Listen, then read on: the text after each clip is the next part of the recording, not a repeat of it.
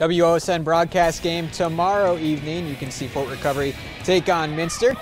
First quarter, Cassidy Rammel saves the loose ball right to Logan Arnold, and the visitors are on the board first.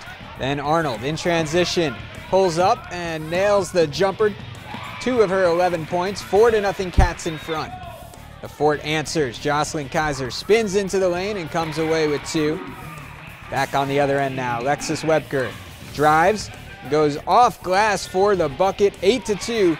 Minster out to the first quarter lead, and Grace Steen getting the home team back in it. Good take in and the lay in. 11 points for Grace on the evening, but Minster answers right back. Mariah McKenzie, the three, and Minster gets the nine point victory, 43 34.